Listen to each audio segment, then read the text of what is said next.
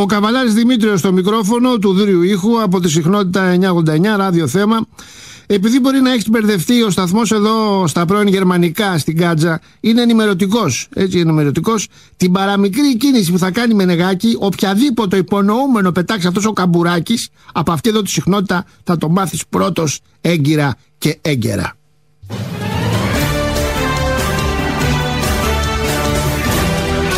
Οι υπότιτλοι των ειδήσεων με τον Τζίμι Μπαζούκας.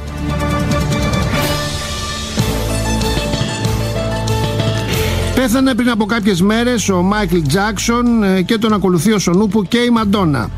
Η Μπίζ δέχεται απανοτά χτυπήματα και καλά να πάθει αφού δοσιλογίζεται και στολίζει με σαχλά τραγουδάκια την αναβίωση του Μεσαίωνα. Νέο reality στην τηλεόραση του Α που αναμένεται να κάνει μονοψήφια γερμανικά νούμερα. Μετά την αποτυχία με τους αγρότες ε, τη σκητάλη παίρνουν οι εργάτες διότι ο τηλεθεατής δεν αντέχει χωρίς την πίχλα της Μεγαλούπολης. Ο τίτλος του τηλεοπτικού ζώου είναι «Εργάτης μόνος ψάχνεται πώς γίνεται να δουλεύει 18 ώρες την ημέρα και να μην καταφέρει να επιβιώσει». Όλα τα τεκνά της Πάτρας πιέζουν αφόρητα τον Αρούλη, τον Αϊλάινερ, να κατέβει υποψήφιος για την αρχηγία της Νέας Δημοπρασίας. Ο πρώην Υπουργός Αναβάθμισης Κολεγίων με το αζημίωτο το σκέφτεται και ίσως μπορέσει κάπου να το βολέψει ως event ανάμεσα στις φωτογραφίσεις του. Ο Άρης έχει χιλιάδες οπαδούς στην Αθήνα, στο Παρίσι, τώρα και στα Τρίκαλα. Στην παρούσα φάση. Έχεις στην ατζέντα του τηλέφωνα επωνύμων μπαίνει στα πριβέ πάρτι. Υπάρχει μια δυσαρέσκεια όσον αφορά τους πρόσφατους χειρισμούς από ένα κομμάτι της βάσης τη Νέας Δημοκρατίας. Όλοι τον έχουν δει. Η ανασφάλεια, η αβεβαιότητα, ο φόβος για το μέλλον. Τον πετυχαίνουν στην Αράχοβα. Δημιουργούν ένα διαρκές κλίμα έντασης. Το ξέρουν στην Μύκονο. Να απευθυνθώ στους νέους ανθρώπους και να τους πω. Κάποιοι προσπαθούν πολύ και κάποιοι άλλοι απλά το έχουν. Στην παρούσα φάση, καλά κάνουν και μας αφισβητούν. A matter of character.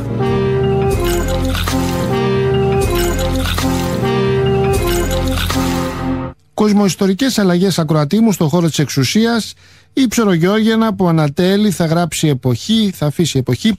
Και επειδή έχω διατελέσει ηγέτης και δημιουργός των μουσικών ταξιοχειών του μεγαλύτερου συγκροτήματος μετά το συγκρότημα Λαμπράκη είμαι σε θέση ως Τσέλιν Πιν Φλόιν πλέον να διαγνώσω την μεταφορά του συντελεστή δόνησης της εξουσίας από το μέγαρο μουσικής του συγκροτήματος στο Μουσείο Μπενάκη στην Πυραιός των Γερουλάνων Πάει ο καιρός που το συγκρότημα διόριζε υπουργούς πολιτισμού, μικρούτσικους και τρελοχαρτάδες αστράτευτους. Τώρα ο πολιτισμός είναι στα χέρια της Άντζελας και το παιχνίδι περνάει στα χέρια των μανάδων της εξουσίας, της Μάργαρετ και της Εμιλίας.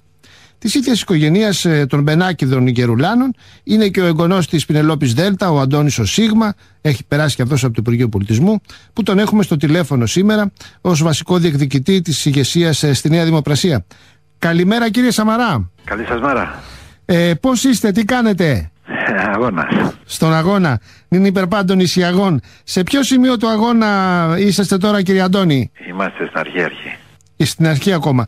Πιστεύετε κύριε Σαμαρά ότι με την υποψηφιότητά σας θα ολοκληρώσετε τη διάλυση της Νέας Δημοκρασίας την οποία ξεκινήσατε το 1993. Όχι, δεν το πιστεύω κάτι τέτοιο.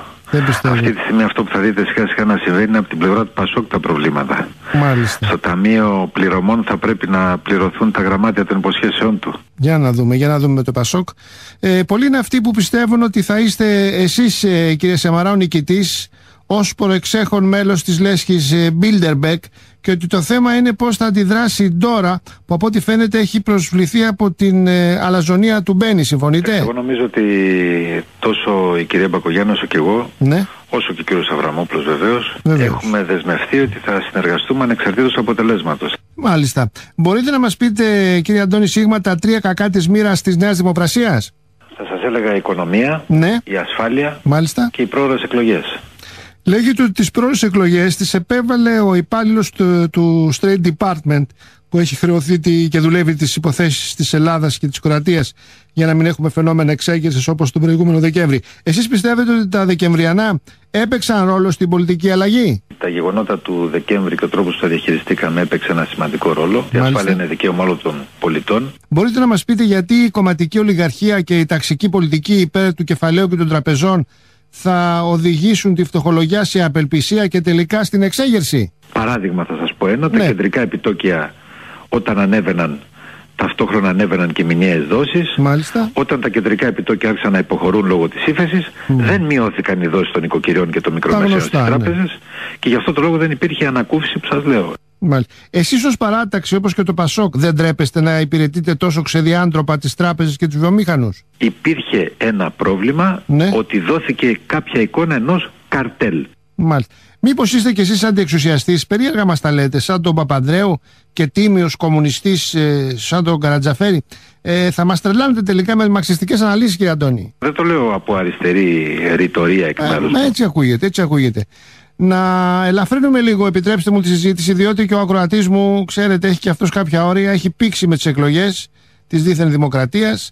Πάλι εκλογές τώρα, λίγο πριν τελειώσαμε, ε, που οδηγούν πάντα αυτά τα πράγματα σε αδιέξοδο. Μπορούμε να πούμε κάτι ανάλαφρα, Αντώνη; Θα σας πω το παράδειγμα το οποίο ε, μ' αρέσει να το λέω του Τηρεσία. αυτό το τυρέ. Είναι χιλιοεπομένο, ρε Αντώνη. Δηλαδή το ξέρουν όλοι αυτό με τον τυφλό, το μάντι, το μάγκα, τον Τηρεσία που την έπεσε στον Αγαμέμνονα. Τα γνωστά. Επειδή η Φιγένεια δεν του καθότανε και πήγανε μετά να τη φάξουνε, πατέρας και μάντι. Και τους χάλασε τη δουλειά η λεσβιακή θεότητα η Άρτεμις. Είναι γνωστά να μην κουράζουμε τον κόσμο. Εσύ, Αντώνη, πώς πέρασες, πώς περνάς τον το, το καιρό σου τελευταία; Κυνηγώντας ευκαιριακούς, Ναι, χάσαμε πολύ περισσότερους μόνιμους δεν πειράζει. Παρά τους ευκαιριακούς τώρα, γιατί είναι και με μεγάλη πλειοψηφία. Μπορείς να μας πεις ε, α- από τι εκνευρίζεται η αποχή; Η αποχή νομίζω ότι εκνευρίστηκε πάρα πολύ Ναι. από τα γεγονότα του ασύλου. του ασύλου. Του ασύλου που είναι αρσενικό, είναι ο άσυλος, όπως επανειλημμένα έχει τονίσει ο πρώην Υπουργός εκεί στο ίδιο κόμμα, ο Άρης ο Άιλάινερ. Ε, πιστεύετε εσείς Αντώνη ότι εκτός από την κατάργηση του ασύλου ο κόσμος ζητάει και περισσότερο ξύλο από την αστυνομία; Ασπάζεσαι το δόγμα του λαϊκού μαζοχισμού; Είναι πια ένα όριμο πράγμα το οποίο η κοινωνία το Και ζητούσε εγώ και, το εμείς πιστεύω αυτό. δεν τους ικανοποίησαμε. Ναι, θέλει να ικανοποιεί το κόσμο, θέλει εβραϊκά δακρυγόνα, θέλει δηλαδή κάτι να, να, να ξεκουνηθεί. Ε, γνωρίζουμε ότι έχετε διατελέσει στο παρελθόν, ε, να μπούμε στα προσωπικά, γκόμενος της απόλυτης Ελληνίδας Στάρ, της κυρίας Βύση. Και μετά σας διαδέχθηκε στην αγκαλιά της ο Νταλάρας. Με τον Γιώργο τον Νταλάρα διατηρείτε κάποιες σχέσεις; Απλώς να σας πω ότι ε, όπως τα λέγανε στο χωριό μου ένα, ένα χνότιασμα υπήρχε προφανώς. Το 93 που ε, κηρύξατε την αλβανική υποχώρηση και μεταφέρατε τους φυλακισμένους και τους αδειάσατε στην Ελλάδα, αυτό ήταν δική σας πρωτοβουλία, εσείς το σκεφτήκατε ή εκτελέσατε διαταγές της λέσχης σας του Μπίλντερμπεργκ; Για αυτήν την εποχή που μιλάτε, το 1993, Ναι, εγώ τότε έκανα μια συνειδητή επιλογή Α, δικιά για να σας ήταν. αποτρέψω μια μείζωνα εθνική υποχώρηση σε ένα μείζον εθνικό θέμα. μάλιστα, σε ρε μείζωνα. Με την ε, Ανούλα τη Βύση, χωρίσατε ομαλά, γιατί πολλά ακούγονται κύριε Σαμαρά ότι σας ε, γυάλισε η Βανδί κάποια στιγμή, κάτι έπαιζε και με τη μάνα του Φίβου την Κουζανιτά που την πυροβόλησε μετά ο Γιονάκης. Είναι πολλά, δεν τα θυμάμαι γιατί έχουν περάσει και πολλά χρόνια. Γιατί 17 χρόνια πριν 17, εγώ ναι. το ζήτημα αυτό το είχα κρατήσει ανοιχτό και οφείλω να σας πω, που το ξέρετε άλλωστε, Ναι. ότι και το πλήρωσα, έτσι, γιατί έμεινα εκτός ενεργού πολιτικής επί 8 χρόνια. Ναι, και κινήσατε και από καμιά δέσποτη του Γιονάκη. Τώρα, πόσο γνωρίζουμε, είστε μόνος σας. Προπονείστε σεξουαλικά σε ατομικό πρόγραμμα. Σας ενοχλεί η μοναξιά, κύριε Σαμαρά; Πιστέψτε με, η μοναξιά είναι δύσκολη για έναν πολιτικό Είναι και μάλιστα δύσκολη. έτσι Εντάξει, είστε και νέο παιδί, νέος άντρας, καλοστεκούμενο. Πιο καλή μοναξιά, έτσι, νομίζω ότι είναι καλύτερα, Αντώνη. Δηλαδή, μην το παίρνεις κατά κατά, βλέπεις και τον κόπο σου, χειροπιαστά πράγματα, σωροπιαστά.